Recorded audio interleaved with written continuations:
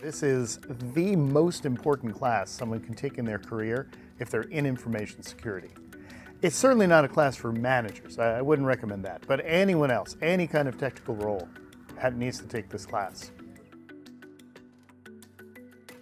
In this class, we, we take a different approach than you'll find in most other SANS classes, and in fact, a different approach than you'll find anywhere else. There, there is no other class in network monitoring or intrusion detection that does this the way we do, because we do a bottom-up approach. We don't take a tool and then teach you about the tool and here's what you might find with the tool. Instead, we start at the very bottom and we teach you everything about how protocols work and how networks work. And I said this class is for everyone. That's actually part of why. Because if you think about how our enterprise works, even when we're concerned about endpoint security and server security and cloud security, everything we do involves communication. So it's the network, and that's what this class is about.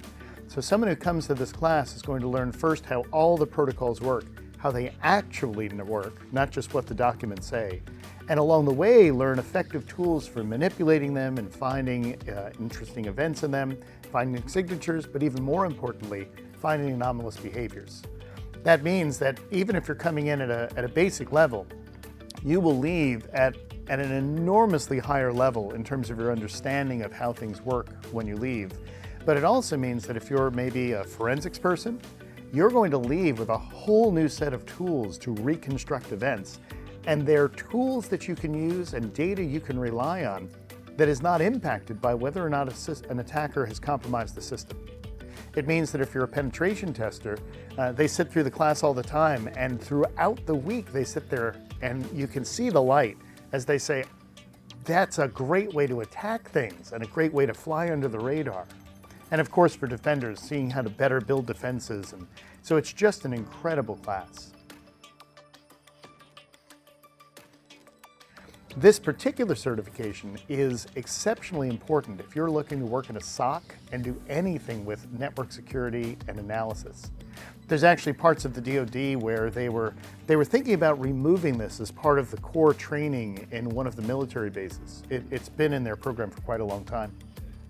And the brigade that's responsible for much of the cyber protection and network analysis that happens for the Department of Defense, when they got wind of that, they actually contacted the command of the schoolhouse that does that training and said, if you're not going to include this class, don't bother sending us any more soldiers. This is the only class in the world that teaches you how to find those unknown threats in your network. As important as this class is, and it will change your view of everything, I also want people to know coming in that it is, it is absolutely the most difficult class, the most challenging class that you can come into in SANS because of the approach we take. So based on that, you may decide to take this in one of a number of different ways. For myself, I always prefer live training because I now have an instructor I can stand, I can ask him questions. If I don't get it, so we can do it as a live training. We also have simulcast training of this class. So perhaps you couldn't be at the conference, but you want that live conference experience, you can, you can have that as well, and you can simulcast to your home. This class is available in vLive, so periodically throughout the year, this class will be offered a few times with a live instructor where you sit at home, but the whole thing is done remotely for everyone. And the instructor is going to teach just three hours a night for two nights a week, and we spread the class out over a long time which might really work if you're very new to this.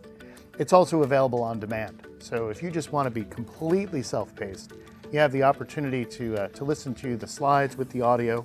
And in fact, in that on demand, it is one of the best ways to take this class because every year we go in the studio and record something like six to eight additional hours of content that is specific to the on-demand folks. Most especially because they don't have that direct contact with the instructor. So there's all kinds of extra demos and explanations and things that you might not get through the other, the other modalities.